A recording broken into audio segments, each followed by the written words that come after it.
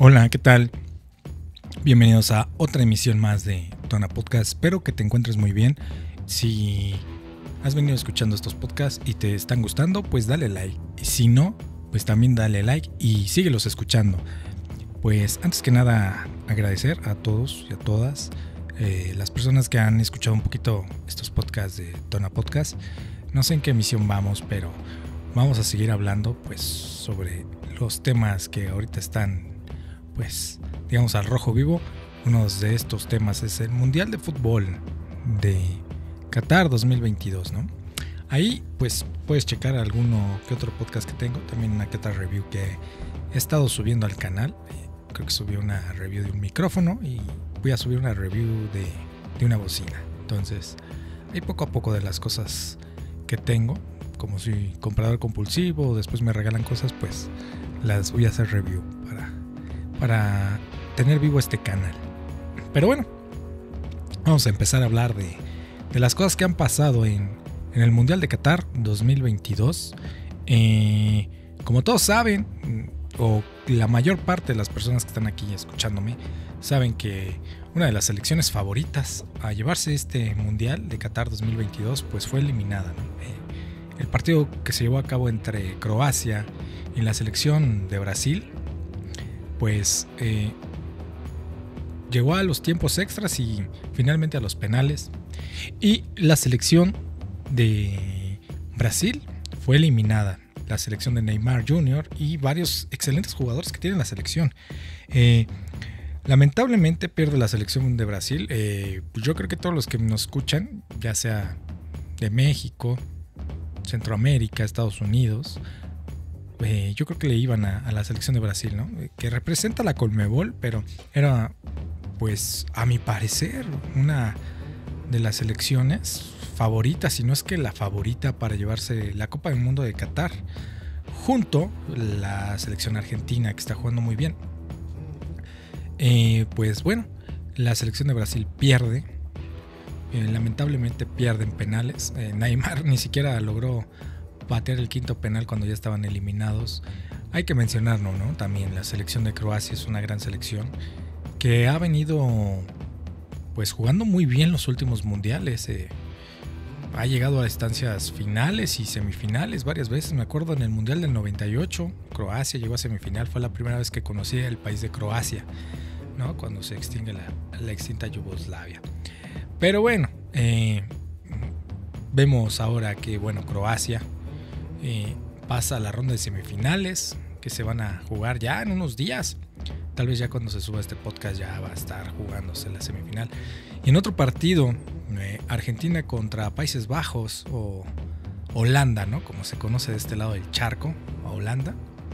Países Bajos se gana, gana Argentina, esta Argentina de Messi, que creo que va a llegar a la final.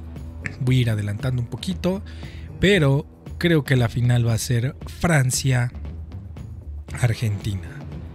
Creo que va a ser la final Francia-Argentina, va a ser una gran final. Y bueno, ahí a mí me gustaría que ganara Francia. Eh, ya, eh, si muchos dicen, no, ¿por qué Francia si eres de aquí, de México? Pues me gusta más la selección de Francia que Argentina. Ya sé que todos le quieren dar eh, pues la Copa del Mundo a Messi, mm, pero mm, creo que Francia está jugando muy bien, me gusta su selección, me gustan sus jugadores y el estilo de fútbol que está proponiendo no solo de, del Mundial para acá, sino ya lleva varios años con una gran selección. Y eso que no tienen ahorita a Karim Benzema, que hay que recordar que pues es el balón de, de oro, ¿no? Es el mejor jugador de, de 2022, cual está con una pequeña lesión y, le dijo no a la selección de Francia, ¿no? A mí me hubiera gustado estar ahí hasta en la banca, pero Karim Benzema le dijo no, que un compañero que esté en el mejor nivel juegue cosa que aquí en México no pasó, ¿verdad? Y ahí tuvimos a Raúl Jiménez, ¿no? Aunque no haya hecho nada. Pero bueno, ahora sí, en los partidos de Croacia-Brasil, pues gana Croacia, Países Bajos-Argentina, gana Argentina, que creo que era favorito, si no el gran favorito, sí tenía un porcentaje alto de, eh, de favoritismo. Lo gana, lo gana bien. Y algo o el caballo negro ¿no? de este mundial, el que se le domina caballo negro. Marruecos contra Portugal gana 1-0 Marruecos, ¿no? Con un cabezazo letal. Sí, gana Marruecos. Cristiano Ronaldo, del que todos hablan, eh, entra en el segundo tiempo, al parecer en el minuto 50, 50, 55, no recuerdo bien. Y no, no le puede dar el gol a, Portugal, que pues hay que decirlo, la verdad, la, selección de Portugal, una gran selección. Eh, aparte de ser una gran selección, yo creo que es el nivel. No sé si se merecía estar en semifinales. A mi parecer sí. De hecho, a mi parecer a mí me hubiera gustado ver una final entre Portugal y Argentina y que la ganara. Desde mi punto de vista ahí, pues no sé ya, ahí que la ganara el fútbol, ¿no? Pero pues Cristiano Ronaldo sale, sale triste del partido. Y también sale triste yo creo que porque en los últimos dos partidos pues estuvo en la banca. En la banca un jugador como Cristiano Ronaldo pues es raro, ¿no? Y hay que ser sincero, ha sido un jugador que le ha dado mucho a Portugal.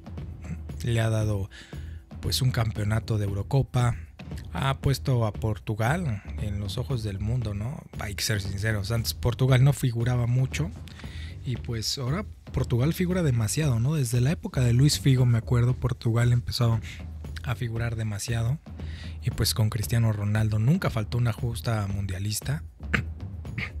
me hubiera gustado mucho verlo en semifinales, pero bueno, Marruecos ganó, ganó bien y va a la semifinal va a la semifinal Marruecos la primera vez que llega un equipo del continente africano. Estas instancias estaban mencionando, ¿no? Y pues felicitarlos.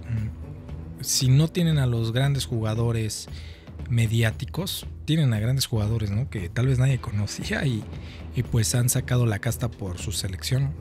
Y yo creo que medio Marruecos está incrédulo, ¿no? Son de las cosas después padres del Mundial. La verdad no veo a Marruecos en la final. Yo creo que va a quedar hasta ahí, hasta la semifinal y está muy bien. Y pues veamos, ¿no? ¿Qué es lo que pasa? Y bueno, en cuartos de final, Inglaterra y Francia. Partidazo. el partido de la guerra de los 100 años ahí. Ahí está, ¿no? Como siempre, Inglaterra se me hace un estilo de la selección mexicana, pero europea. Eh, Francia le gana 2-1 a Inglaterra. ¿Qué jugadorazos trae Girao de, Francia? No lo había visto bien. Jugadorazo, jugadorazo. Inglaterra tuvo para empatar y llevar todo a tiempos extra, pero Inglaterra, como siempre, también tiene sus fantasmas. Y sus fantasmas hizo que, que su delantero mm, fallara un penalti, ¿no? El primero lo anotó, el segundo lo mandó a la grada 50. Y pues lamentablemente Inglaterra no pasa hubiera sido un partido todavía más cerrado. Yo creo que este partido también se hubiera ido a penaltis, a tanda de penaltis final, pero pues Inglaterra erró, eh, erró este su penalti y creo que con eso Inglaterra se vuelve la selección que más la han eliminado en esa fase, que es cuartos de final. Y pues Inglaterra creo que es la selección ahora más eliminada en cuartos de final. Entonces ya los mexicanos han de estar contentos. Bueno, que nosotros siempre nos eliminan en octavos. Déjenme tomar agüita. Ah, qué rica esta agüita. Pero bueno, eh, mencionaba Inglaterra, eh, la selección creo que lleva siete veces que le eliminan en cuartos de final. Y no, no ha podido dar el gran paso Inglaterra, ¿no? Eh, creo que esta selección es la que mejor veía después de hace muchos años de Inglaterra. Me gustaba su forma de fútbol, cómo están jugando y proponiendo fútbol los jugadores no son tan mediáticos. Que por ahí traen un defensa medio chafón, no sé por qué está en la selección, un tal Matt, Wire, creo que se, apellida Matt. Eh, pero bueno, así está pasando, ¿no? Esta selección de Inglaterra se queda de nuevo en cuartos de final. Eh, la verdad, entre Inglaterra y Francia, este partido, yo le iba al fútbol. A cualquiera que ganara se me hubiera gustado, ¿no? También me hubiera gustado ver Inglaterra en, semifinal, pero pues Francia y su calidad. Mbappé que corre como un Ferrari. Pues la calidad de los jugadores salió.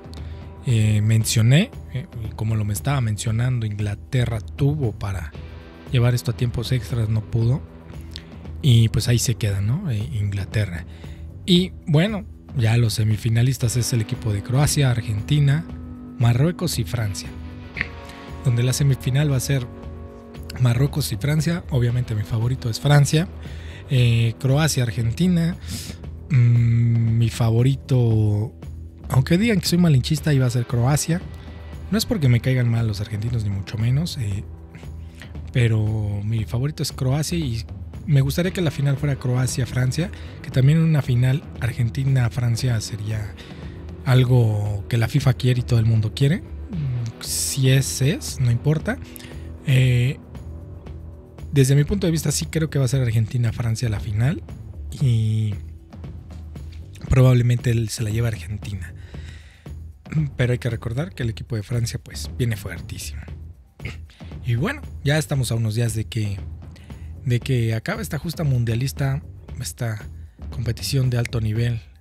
Ya en 2026 va a ser aquí en, en México, Estados Unidos y Canadá. A ver qué pasa con la selección mexicana. Pero por lo mientras hay que seguir viendo los partidos, que la verdad, estos partidos de cuartos de final fueron maravillosos algunos. El de Inglaterra-Francia, un partidazo, partidazo, no me decepcionó ningún minuto.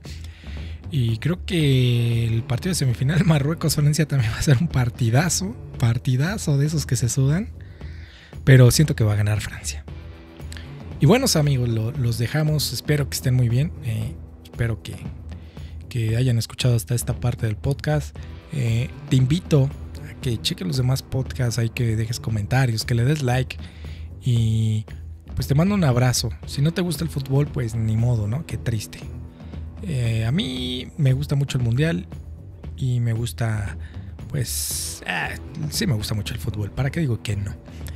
Pero, pues deja tu like, ¿no? Aquí y, muchas gracias, muchas gracias por seguir viendo o escuchando el canal, donde quiera que lo andes escuchando. Te mando un saludo fuerte, espero que estés muy bien. Hasta luego, bye.